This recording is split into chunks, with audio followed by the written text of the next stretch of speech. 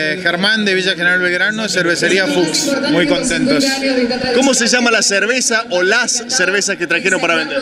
Bueno, la marca es Fuchs y hemos traído Golden Ale, hemos traído Cream Stove, Honey, Red, IPA, APA eh, y Berlin Weiss que vendría a ser trigo. ¿A qué atribuyen ustedes el boom de la cerveza artesanal? Y la verdad que es el- la revolución cervecera, como le llamamos los cerveceros, eh, y estamos todos muy unidos y luchando por una buena calidad y el, todo en grupo por una muy buena cerveza. ¿Hace mucho tiempo están haciendo cerveza? Y nosotros hace dos años y un poquito más. ¿Y va creciendo el emprendimiento? ¿Han llegado a un techo? ¿Consideran que se puede seguir creciendo?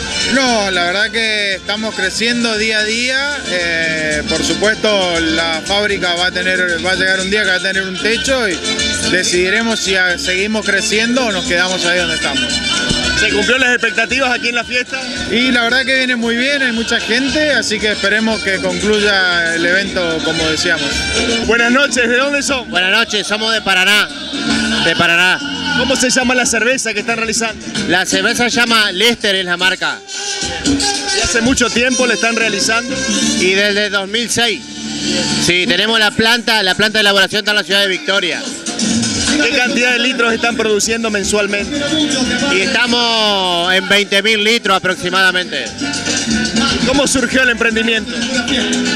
Y, y como por ahí buscando respuestas a necesidades de la, de la gente que quería probar cerveza con distintos sabores, no tan la rubia tradicional. Bueno, fue surgiendo y, y como un hobby hasta que fue una empresa. ¿Qué es lo más difícil de lograr de una cerveza artesanal? Y por ahí al, al principio cuesta estandarizar por ahí la receta hasta que vas saltando la escala y bueno, el volumen te ayuda por ahí a, a- que siempre te salga todo igual. ¿Y cómo se logra eso? Digo, cu- ¿cuál es el secreto? No, el secreto es controlar el proceso, es verificar en el en en laboratorio que los parámetros estén bien, básicamente es eso, de gobernar el proceso. ¿La cerveza debe estar estacionada determinada cantidad de tiempo una vez elaborada? Sí, sí, sí, te requiere, o sea, después de la fermentación tiene un tiempo de maduración y ahí justamente lo que te decías antes, controlando el proceso uno sabe cuando la cerveza está bien. Eh, ¿Y de a dónde están vendiendo? ¿En qué lugares? ¿En qué zona? Y nosotros estamos más en Paraná, eh, Santa Fe Ciudad y ahora estamos incursionando bastante en, en- en Entre Ríos, en la costa del Uruguay. ¿Y hay, hay mercado para seguir expandiéndose? Sí, sí, hay mercado, hay mercado. Si bien ahora está, como todos saben, un poco duro el tema, hay que, viste, buscar innovación, viste, y cu- cuestiones nuevas para comercializar, pero, pero hay mercado. Sí, yo creo, confiamos en que se va a recuperar. La última, ¿cuánto cuesta en el mercado un litro de cerveza artesanal? Promedio. Y el promedio hoy del litro de cerveza artesanal en, en los bares, en los bares, eh, debe estar en 150 pesos más o menos. Ahora en, en en una góndola, una botella, la debe encontrar entre 60 y 90 pesos, depende, depende de cómo está elaborada, qué estilo sea. Bueno, Fernando, eh, un golazo esta, esta edición de la fiesta, ¿no? Digo, por la, repercusión de las cervezas artesanales que están todos colmados las expectativas. Sí, bueno, la verdad que después de tanto tiempo este, vino el cambio que era necesario y la inclinación hacia las artesanales, que es lo que está de moda hoy, y todas las variedades de estilo y gusto que se encuentran, así que bueno, la verdad que está muy bueno hoy. ¿Qué cervezas ha traído? ¿Qué variedades de Weinberger tenemos? Bueno, la clásica que es la rubia, la- el caballito de batalla que es la negra y también, bueno, metimos roja, una IPA y nada, cuatro, cuatro variedades. La gente se amiga rápidamente con los conceptos, sabemos que la IPA es la más amarga, sabemos que la rubia este, a veces es más, no, no, no tan fuerte, o, o- digo, nos ponemos muy exigentes rápidamente. No, no, la verdad que la gente es impresionante como, como esto de la cerveza artesanal se ha metido dentro de la gente, que la gente ya sabe lo que es una IPA, lo que es una roja, una rubia, una lager, una fermentación alta, fermentación ba- baja, la verdad que está muy bueno eso. ¿Y cuál es la que tiene mayor salida? No, la rubia, la rubia clásica es la que mayor salida tiene. ¿Pensabas hace 10 años años atrás este, estar posicionado hoy con la firma ya reconocido regionalmente y, vendiendo, digo, porque parecía bastante utópico hace mucho tiempo. No, la verdad que no, no, no, no lo imaginaba, este, bueno, este, pero bueno. Lo que pasa es que uno recibe mucho el apoyo de la gente del pueblo y todo, y gracias a Dios estamos andando bien. Bueno, mucho hizo el, bar o el restaurante enfrente de la plaza, ¿no? Digo, ha fijado, ha fijado una posición. Sí, la verdad que sí, Alte Camaraten, este, otra cosa que están dando muy bien, está viniendo mucha gente de afuera, de localidades vecinas y todo, este, porque le gusta mucho la gastronomía y sobre todo a probar la cerveza. Las dos últimas, ¿ya está posicionada o hay que seguir trabajando en la firma para afianzar más. No, no, este es el primer pasito, los primeros pasitos son los que estamos dando a este nivel y bueno, no, no, hay que seguir trabajando todos los días como estamos ahora. Charlábamos con algunos otros cerveceros artesanales que nos decían lo que más cuesta es encontrar el punto para que salga pareja constantemente. Digo, cuando se hace de manera artesanal. ¿Esto coincide en todos? Sí, sí, totalmente. Cuando uno elige un estilo, un rumbo, un camino, siempre tiene que, eh, que la calidad sea súper pareja. Y bueno, nosotros este, nos inclinamos por el estilo lager, que son todas las recetas que tenía mi abuelo cuando estaba acá en la San Carlos. Y bueno, somos los únicos que hacemos acá en la zona de este estilo, porque las otras son todas Ale, que son, eh, son cervezas más fuertes, más picantes, son otro estilo totalmente. Mi nombre es Rodrigo, venimos de Villa Final Belgrano. Eh, 11.50 es la cerveza que hacemos. Eh, la producimos nosotros.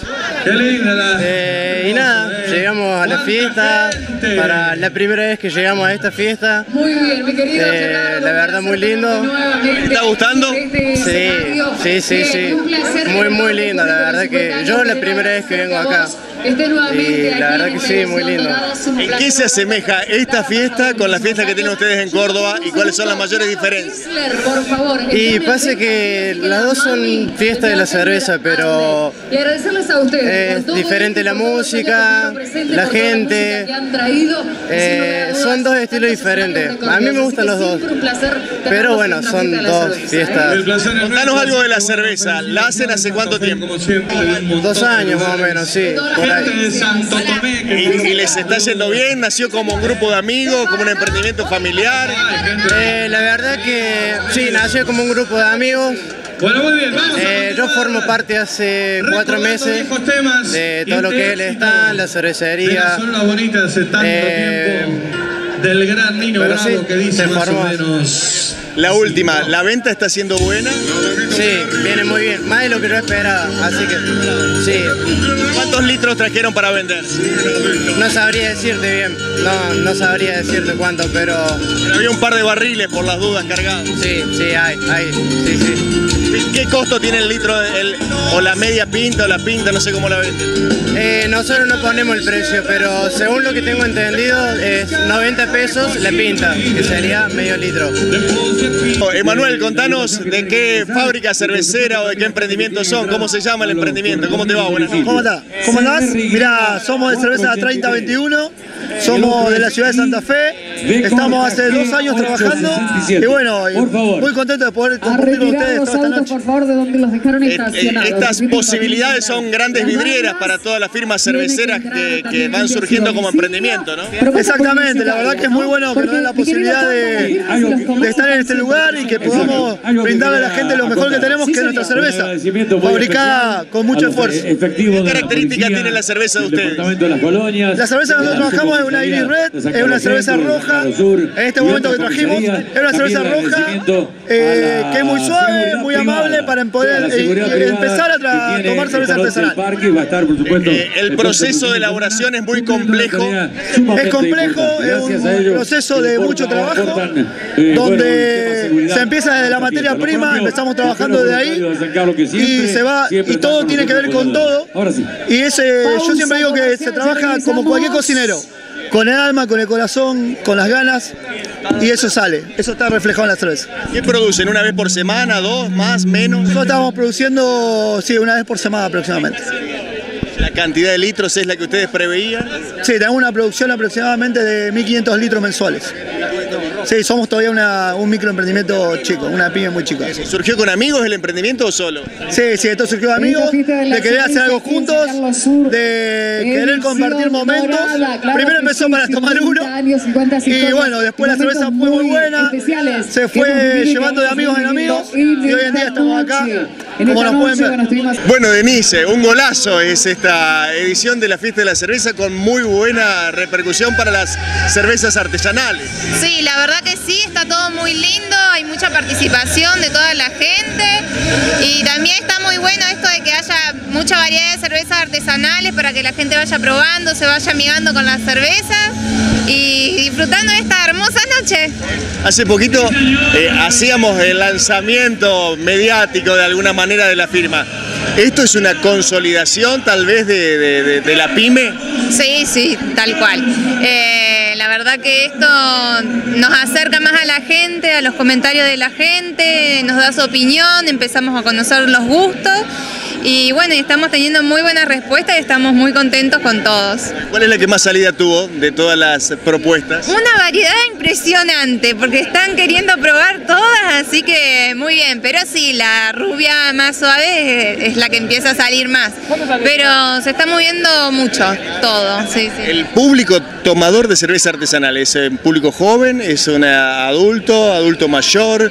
¿Cómo lo definían? ¿Las mujeres también se animan? Sí, sí, no, de todo edades vienen, sí, se ve mucha gente joven, pero no, no, la verdad que todos se van acercando a las cervezas artesanales. ¿Quién fue el responsable del marketing del local que está bellísimo? Ah, entre todo, esto todo a mano de, obra nuestra, toda la familia, mi cuñado que anda por ahí atrás, novia, mi concuñada, todos estuvimos acá armando los pales, las mesitas, los silloncitos, todo mano nuestra. Y la última, eh, estas primeras semanas de producción y de venta, ¿fueron buenas? ¿Fueron tal cual la esperaban, la soñaban, la imaginaban? ¿Cuesta en el mercado porque hay mucha competencia? No, la verdad que re bien, re bien, estamos muy contentos y nos vemos en, eh, la etapa de tener que estar haciendo más porque tiene mucha salida, la verdad que sí. Después del verano, ¿disminuye la, la producción históricamente? Digo, Ustedes son recientes, pero charlando con otros cerveceros. Sí, sí, es como que en invierno decae un poquito más por el tema del frío, pero sigue saliendo. El verano sí, el tema del calor llama más a tomar. Pero sí, sí, la verdad que sí.